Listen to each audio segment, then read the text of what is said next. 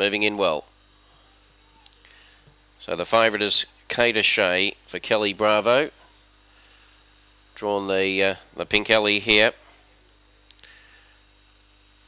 Last of them loaded up, race five for the night. Good luck with your quantities. First leg, green lights there, set to go, 450 metres. Ready for a start. Set. Racing Kate O'Shea, just a fair getaway. Trailblazing shows pace, but now the favourite charges up on the outside, and Kate O'Shea works to the lead from Trailblazing, going up to third. Vintage Warrior, then Mapunga Ledger.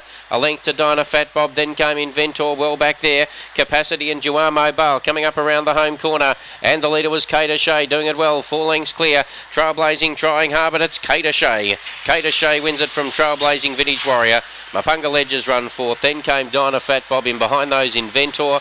Well back to Amo Bale and capacity at the tail 24 and 87.